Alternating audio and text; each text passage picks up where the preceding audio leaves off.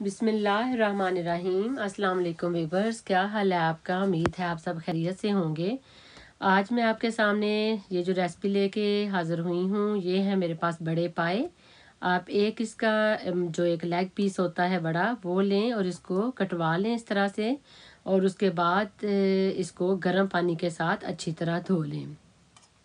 अब वीवर्स हम देखेंगे इसके इन इंग्रेडिएंट्स इसमें ये दो है मेरे पास, दरमियानी साइज़ की अनियन एक है मेरे पास गार्लिक और दो सब्ज़ मिर्च है मेरे पास और एक है मेरे पास जिंजर का एक इंच का टुकड़ा।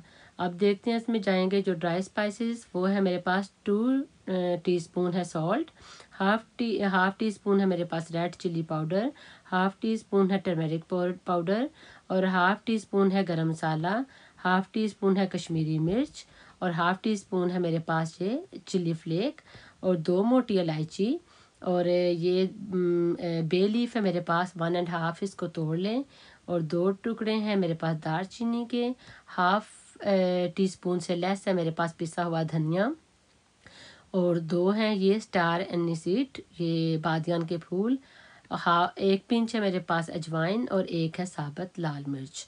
ये सारे मसाले इसमें जाएँगे। अब हम स्टार्ट करते हैं इसके बनाने का तरीका। एक स्पून आप ये लें ऑयल का और एक, ये नियरली फोर टेबल स्पून होंगे।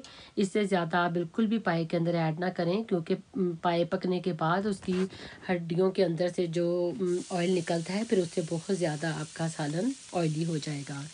अब इसमें आप इस तरह प्याज को काट के डाल दें और प्याज को फ्राई करें। इसको लाइट ब्राउन करना है, ज़्यादा डार्क करने की ज़रूरत नहीं है।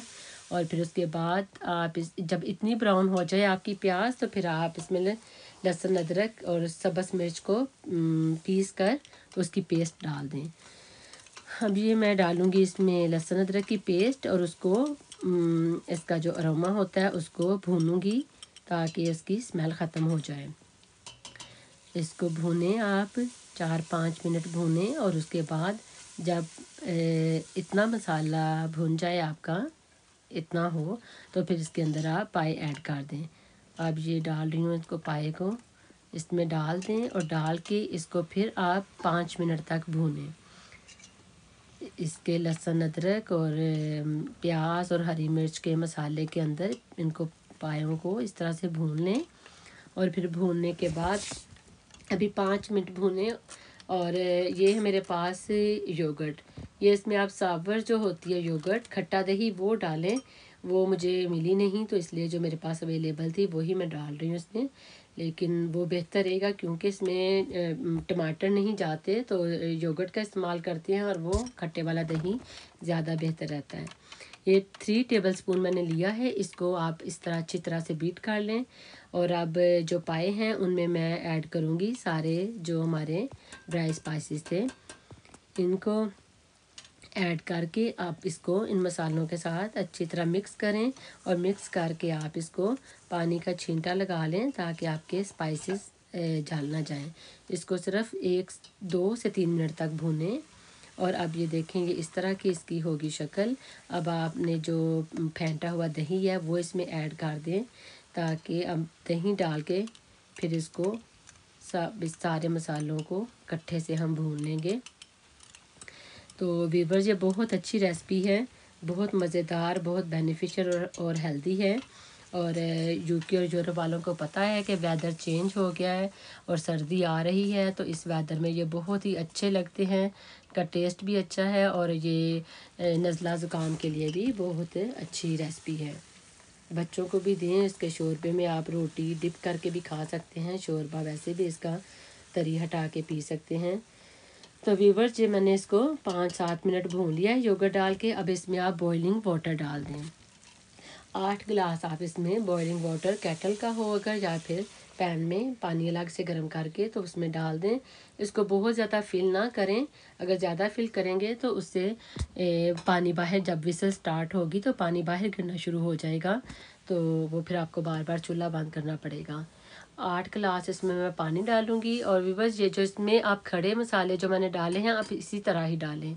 बाज़ लोग इसको बिल्कुल ग्राइंड कर लेते हैं मसालों को, लेकिन वो उसका और ये इस तरह से मसाले डालने का टेस्ट बहुत डिफरेंट है। इस तरह बहुत अच्छे और मज़ेदार बनते हैं।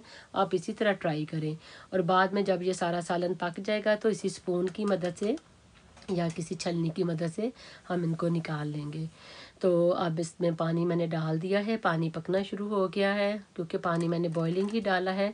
ठंडा पानी बिल्कुल ना डालें कोल्ड वाटर अगर डालेंगे तो इसका जो पाए का गोश्त है वो हार्ड हो जाएगा फिर गलेगा नहीं। और मैंने इसको प्रेशर को बंद करके वेट लगा के रख दिया है और ये आपने डेढ़ घंटा वन एंड हाफ़ आवर के लिए पकाना है। ये मैंने ए, ए तकरीबन सवा घंटे के बाद इसको खोल के देखा है। कि ये पानी बिल्कुल ख़त्म ना हो गया हो या ज़्यादा हो तो इसको और पका लूँ। तो मैंने इसको दस मिनट तक प्रेशर का ढक्कन लगा के विदाउट वेट वेट नहीं लगाना। ऐसे ही या बगैर ढके भी आप इसको इस तरह से थोड़ा सा मज़ीद और पका लें।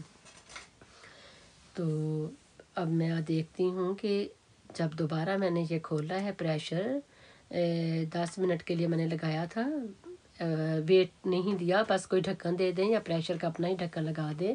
तो अब ये देखें विवज ये इसकी जो गोश्त है, इसका पाए का, ये बिल्कुल अच्छी तरह से गल गया है और अब ये बिल्कुल रेडी है। अब इसमें आपको इसमें डालें हरा कटा हुआ धनिया और साथ इसमें डालें ये मैंने इसने इसका पिस जो ज़ीरा था पिसा हुआ, उसकी डाली है मैंने दो पिंच इसमें मैंने डाली है।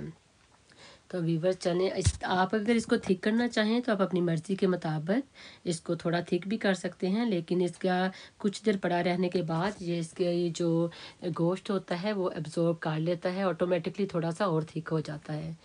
तो वीवर्स ये मैं इसके साथ बनाई हैं फुलके। अगर आपको जो पसंद हो, आप नान के साथ खाना चाहें, चावल के साथ या रोटी के साथ, जो आपको पसंद हो, आप उसके साथ खाएँ। तो वीवर्स ये हमारी आज की थी रेसिपी ये बिल्कुल तैयार है, ये मैंने डिश आउट किया है, मैं इसको गार्निश कर रही हूँ। हरी मिर्च है और कटी हुई अदरक और साथ हरा धनिया कटा हुआ, इस तरह आप ऊपर से इससे डाल लें इसके ऊपर। और अगर आपको पसंद हो लेमन तो आप थोड़ा सा लेमन इसमें डालें, इसका बहुत अच्छा टेस्ट बनता है। और ये अगर आपको नहीं पसंद तो आप नहीं डालें, क्योंकि ये चीज़ें ऑप्शनल हैं।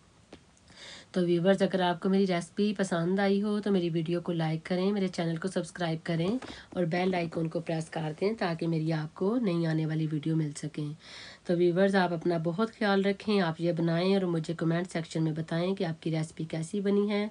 और अपना और अपने घर वालों का ख्याल रखें और मुझे भी दुआओं में याद रखें। तो फिर मुलाकात होगी किसी नई रेसिपी के साथ। ओके, अल्लाह हाफिज़, फ़ी अमान अल्लाह